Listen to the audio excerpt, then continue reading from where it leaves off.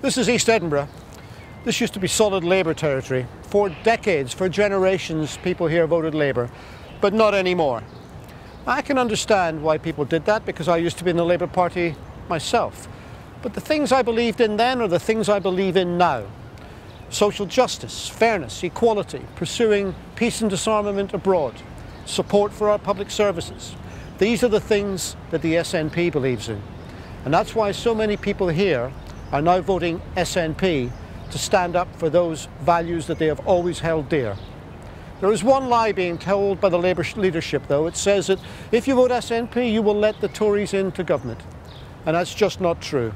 I will never vote for the Tories to be in government.